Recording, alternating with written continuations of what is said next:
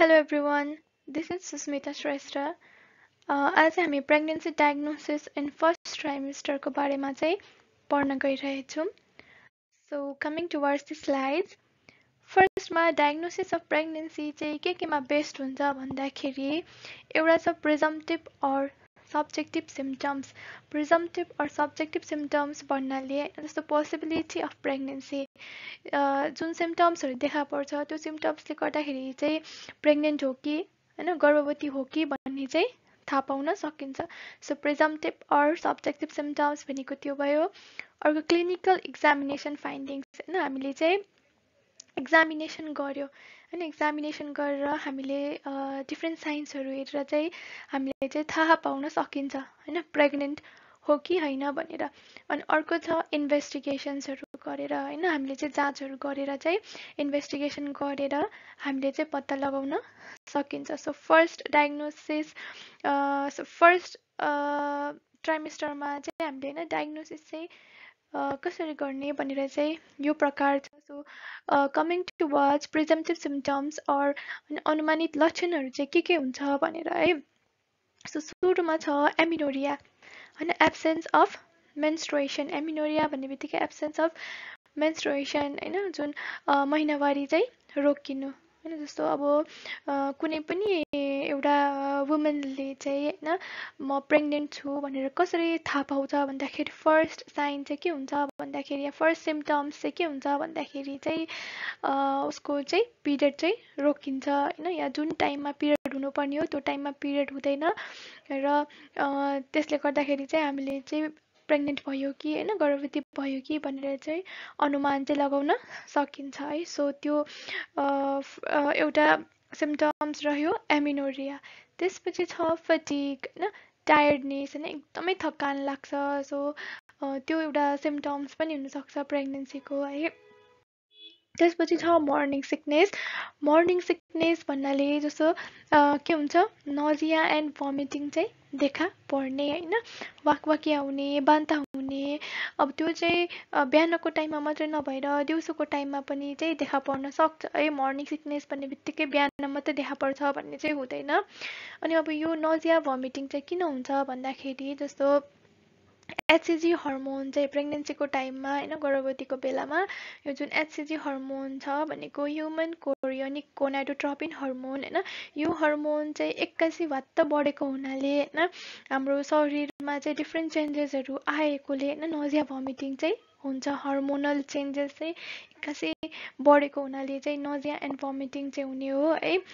So अर्को छ frequency of micturition छिटो छिटो पिसाब चाहिँ लागिरहने होइन? अब यो छिटो छिटो पिसाब चाहिँ किन लाग्छ त फर्स्ट ट्राइमेस्टरमा भन्दाखेरि चाहिँ होइन? जस्तो हाम्रो पाठ्यकर र जुन हाम्रो मूत्रथैली छ होइन? भनेको युटेरस र युरिनरी ब्ल्याडर चाहिँ हाम्रो के हुन्छ भन्दाखेरि सँगै सँगै हुन्छ नि त होइन? अब त्यो सँगै सँगै हुने क्रममा चाहिँ के हुन्छ भन्दाखेरि चाहिँ नजिकै भएको हुनाले चाहिँ अब कस्तो हुन्छ भन्दाखेरि जस्तो युटेरसमा चाहिँ एम्ब्रियो डेभलपमेन्ट हुने क्रममा होइन एम्ब्रियो डेभलपमेन्ट हुँदै जाँदाखेरि युटेरस अलिकति के हुन्छ ठुलो हुन्छ होइन सो ठुलो हुँदै गइसकेपछि के हुन्छ भन्दाखेरि चाहिँ युरिनरी ब्ल्याडरलाई चाहिँ प्रेस गरिदिन्छ कि त्यसलाई थिचिदिन्छ।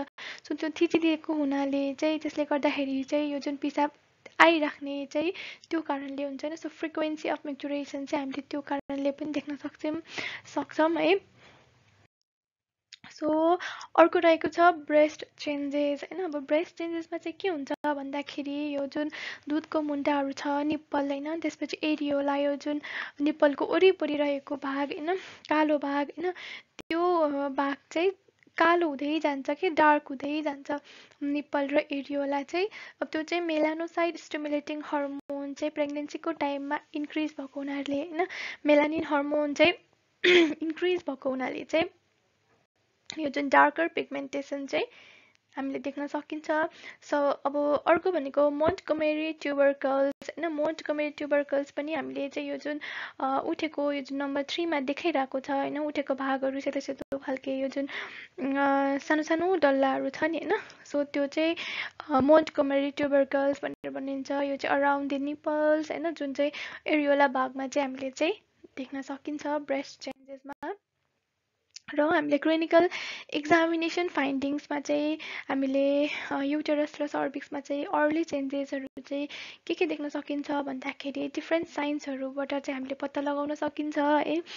सो फर्स्टमा रहेको छ गुडेल साइन गुडेल साइड भन्ने बित्तिकै के हुन्छ भन्दाखेरि यो जुन हाम्रो सर्भिक्स युटेरस चाहिँ सफ्ट हुन्छ कि एकदमै सफ्ट हुन्छ जस्तो बायोमेनुअल एक्जामिनेसन गरेर हेर्नुभयो भनेदेखि हाम्रो सर्भिक्स हुन्छ होइन पाठेघरको मुख छ त्यो चाहिँ तपाईँले औलाले फिल गर्नुभयो भनेदेखि चाहिँ एकदमै सफ्ट हुन्छ जस्तो हाम्रो लिप्स हुन्छ नि होइन हाम्रो ओठ चाहिँ तपाईँले यस्तो प्रेस गरेर हेर्नुभयो भनेदेखि सफ्ट जतिको सफ्ट हुन्छ त्यस्तै सफ्ट चाहिँ हाम्रो सर्भिक्स चाहिँ हुन्छ अनि त्यसको साथसाथै युटेरस पाठेघर पनि सफ्ट चाहिँ हुन्छ। सो यो भयो गुडेल्स साइन यो जुन पिक्चरमा देखिराख्नु भएको छ यो चाहिँ हाम्रो सर्भिक्स जुन छ होइन त्यो सर्भिक्स चाहिँ सर्भिक्स भनेको चाहिँ पाठेघरको मुख भयो अनि भित्रको यो जुन खाली भाग छ होइन ब्राउन कलरको त्यो चाहिँ युटेरस होइन बडी अफ युटेरस भयो। सो युटेरस चाहिँ हामीले थाम्दाखेरि सफ्ट हुन्छ त्यसको साथसाथै सर्भिक्स पनि थाम्दाखेरि चाहिँ सफ्ट हुन्छ त्यो भनेको गुडेल साइनमा है। त्यसपछि आउँछ अर्को हेगर साइन हेगर साइन भन्ने बित्तिकै जहिले पनि जुन इजमस छ होइन इजमस एकदमै सफ्ट भइदिन्छ। यो जुन पिक्चरमा तपाईँले देखिराख्नु भएको छ माथिको भाग भनेको फन्डस भयो यो जुन बिचको खाली भाग भयो यो चाहिँ बडी अफ युटेरस भयो भनेदेखि इजमस भनेको चाहिँ सर्भिक्सको नजिकै होइन जुन चाहिँ अलिकति चेप्टो भाग छ होइन त्यसलाई चाहिँ इजमस भनेर भनिन्छ। प्रेग्नेन्सीको टाइममा चाहिँ के हुन्छ भन्दाखेरि यो जुन इजमस छ त्यो इजमस चाहिँ एकदमै सफ्ट भइदिन्छ है। सो अब यो सफ्ट हुँदा चाहिँ के हुन्छ भन्दाखेरि जस्तो हामीले चाहिँ बायोमेनुअल इक्जामिनेसन गऱ्यौँ। बायोमेनुअल इक्जामिनेसन गर्दाखेरि होइन अब यो बजाइनाबाट हामीले औ हात छिरायो होइन दुइटा औला छिरायो अनि त्यसपछि चाहिँ माथि एब्डोमिनबाट चाहिँ हामीले प्रेस गऱ्यौँ होइन। यो इजमस भएको ठाउँमा चाहिँ हामीले प्रेस गऱ्यौँ भनेदेखि चाहिँ यो सर्भिक्स र युटेरस चाहिँ छुट्टिन्छ कि? अब यो चाहिँ मेनली चाहिँ सिक्स र टेन विकमा चाहिँ टेन विक अफ जेस्टेसनमा चाहिँ हामीले फिल गर्न सक्छ होइन? जस्तो अब यहाँ एउटा पिक्चर छ त्यो पिक्चरमा चाहिँ तपाईँले देख्न सक्नुहुन्छ होइन?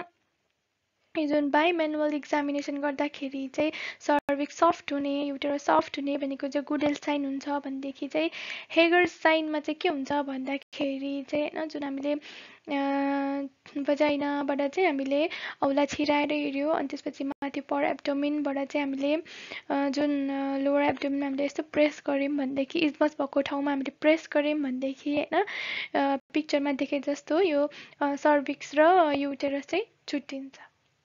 है। यो भयो हेगर साइन त्यसपछि आउँछ Jacquemier sign or Chadwick sign अब यो भनेको चाहिँ के हुन्छ भन्दाखेरि हामीले स्पेक्युलम एक्जामिनेसन गर्दाखेरि होइन हामीले बजाइनाको थ्रुबाट चाहिँ स्पेक्युलम हामीले छिरायो। छिराएर हेर्दाखेरि चाहिँ हामीले यो जुन सर्भिक्स बजाइनाहरू छ होइन पाठेघरको मुखहरू योनीहरू चाहिँ हामीले निलो खालके पर्पल कलर खालको चाहिँ कलर चाहिँ हामीले डिस्कलरेसन भएको चाहिँ देख्न सकिन्छ। अब यो चाहिँ किन हुन्छ भन्दाखेरि यो एरियामा चाहिँ होइन यो पर्टिकुलर एरियामा चाहिँ ब्लड भेसल्सहरू चाहिँ इन्क्रिज भइदिन्छ कि? जुन ब्लड फ्लो ब्लड भेसल्समा चाहिँ यो ब्लड फ्लोज चाहिँ इन्क्रिज भइदिन्छ है। सो अब यो चाहिँ किन हुन्छ भन्दाखेरि यो ठाउँमा चाहिँ यो जुन युटरसको भागहरूतिर होइन त्यसको वरिपरि चाहिँ अब के हुन्छ भन्दाखेरि स्ट्रोजन हर्मोन इन्क्रिज भइदिन्छ। सो स्ट्रोजन हर्मोन इन्क्रिज भइसकेपछि चाहिँ त्यसको वरिपरि चाहिँ जुन ब्लड फ्लोहरू पनि इन्क्रिज भइदिन्छ। सो त्यो इन्क्रिज भएको हुनाले चाहिँ यो जुन bluish discoloration around the vagina vulva चाहिँ हुन्छ। किनभने त्यो ब्लड फ्लो इन्क्रिज भइसकेपछि ब्लड कन्जेसन हुन्छ कि भेन्समा चाहिँ जुन रगतको चाप चाहिँ बढिदिन्छ होइन? भेन्सहरूमा सो त्यो कारणले चाहिँ यो जुन ब्लू कलर पर्पल डिस्कलरेसन हुने सर्भिक्समा र भेजाइनामा चाहिँ हामीले चाहिँ देख्न सकिन्छ। ज्याकमियर्स अर च्याडविक साइनमा त्यसपछि आउँछ चेन्ज इन द युटेरस अब चेन्ज इन युटेरसमा चाहिँ प्रेग्नेन्ट युटेरस चाहिँ कस्तो हुन्छ भन्दाखेरि सफ्ट इलास्टिक इन कन्सिस्टेन्सी चाहिँ देख्न सकिन्छ। जस्तो अब एउटा छ पाल्मर साइन होइन? पाल्मर साइनमा चाहिँ तपाईँले कसरी हेर्न सकिन्छ भन्दाखेरि बायोमेनुअल इक्जामिनेसन गर्दाखेरि भनेको जुन योनिबाट हात छिराएर हेऱ्यो अनि त्यसपछि भनेको माथि पेटमा चाहिँ अब जुन युटरस चाहिँ हामीले फिल गर्दाखेरि चाहिँ के हुन्छ भन्दाखेरि जस्तो हामीले सर्भिक्सलाई चाहिँ यसरी नै पिक्चरमा देखाएको जस्तो होइन औला छिरायो औला छिराएर हामीले सर्भिक्समा जुन प्रेस गर्छौँ त्यो प्रेस गरिसकेपछि चाहिँ हामीले माथिपट्टि यो जुन युटरस फिल गर्दाखेरि चाहिँ पाठेघर चाहिँ हामीले फिल गर् गऱ्यो भनेदेखि त्यति बेला चाहिँ होइन कन्ट्र्याक्सन्स आउँछ क्या जस्तो कन्ट्र्याक्सन्स भनेको। जुन लेबरको बेलामा पेट एकदम साह्रो भएर आउँछ नि होइन? पाठेघर पाठेघर एकदम साह्रो हुन्छ नि सो त्यस्तै रिदमिक कन्ट्राक्सन चाहिँ हुन्छ हामीले फिल गर्यो भने होइन? अनि अब त्यसमा चाहिँ जो त्यो जुन कन्ट्राक्सन्सहरू हुन्छ त्यो चाहिँ पेनलेस रिदमिक कन्ट्राक्सन्स हुन्छ है? जस्तो हो दुख्नेवाला चाहिँ हुँदैन है? र अर्को छ ब्रेक्स्टन हिक्स कन्ट्राक्सन होइन? ब्रेक्स्टन हिक्स कन्ट्राक्सन चाहिँ यो पनि पेनलेस कन्ट्राक्सन अफ युटेरस हो होइन?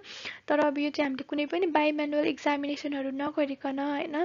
जस्तो पाठ्यकर चाहिँ हामीले चाहिँ जस्ट पाठेघर मात्रै फिल गर्ने होइन? योनिबाट चाहिँ नछिराइकन होइन?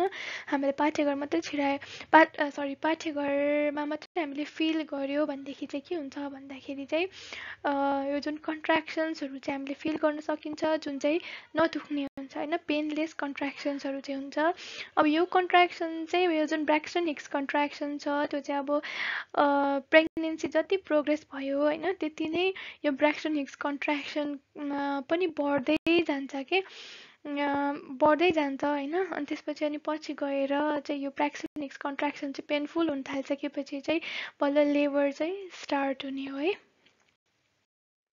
र अब यो जुन ड्युरिङ अर्ली प्रेग्नेन्सीमा चाहिँ युटरसको सेप चाहिँ कस्तो देखिन्छ भन्दाखेरि ग्लोबुलर होइन ग्लोब जस्तो गोलो खालके देखिन्छ भनेदेखि छ हप्ता पुगिसकेपछि चाहिँ अन्डा जस्तो हुन्छ कि? युटरसको साइज अनि त्यसपछि एट विक्स पुगिसकेपछि क्रिकेट बल जस्तो देखिन्छ भनेदेखि बाह्र हप्ता पुगिसकेपछि एउटा फिटलको टाउको होइन फिटलको हेड जस्तो चाहिँ युटेरस चाहिँ हामीले देख्न सकिन्छ। So coming to watch investigation अब इन्भेस्टिगेसन गर्दाखेरि चाहिँ हामीले एउटा इम्युनोलोजिकल टेस्ट गर्न सकिन्छ अर्को भनेको अल्ट्रासोनोग्राफी गर्न सकिन्छ। र इम्युनोलोजिकल टेस्टमा चाहिँ हामीले युरिन टेस्ट गर्छौँ। युरिन टेस्टमा चाहिँ हामीले एचसिजी हर्मोन चाहिँ डिटेक्ट गर्छौँ होइन? जुन हामीले युरिन टेस्ट गर्दाखेरि हेर्ने भनेको एचसिजी हर्मोन प्रेजेन्ट छ कि छैन युरिनमा भनेर हेर्ने हो होइन? सो अब युरिनमा एचसिजी हर्मोन चाहिँ देखा पर्यो भनेदेखि चाहिँ त्यसलाई चाहिँ प्रेग्नेन्सी पोजिटिभ भनेर चाहिँ थाहा पाउन सकिन्छ। सो यो चाहिँ मोस्टली चाहिँ पिरियड मिस भएको आठ दिनमा चाहिँ हामीले चाहिँ यो एसएजी हर्मोन चाहिँ देख्न सकिन्छ होइन? सो अर्को छ अल्ट्रासोनोग्राफी अल्ट्रासाउन्ड गर्दाखेरि होइन? भिडियो एक्सरे गर्दाखेरि चाहिँ हामीले जेस्टेसनल स्याकहरू होइन? जुन बच्चा एम्ब्रियो फर्मेसन भइरहेको जुन स्याक होइन पोका जस्तो चाहिँ हामीले चाहिँ देख्न सकिन्छ। यो चाहिँ फिफ्थ विक अफ इन्टरयुटराइन लाइफमा नै हामीले चाहिँ भिडियो एक्सरे गरेर चाहिँ हामीले देख्न सकिन्छ।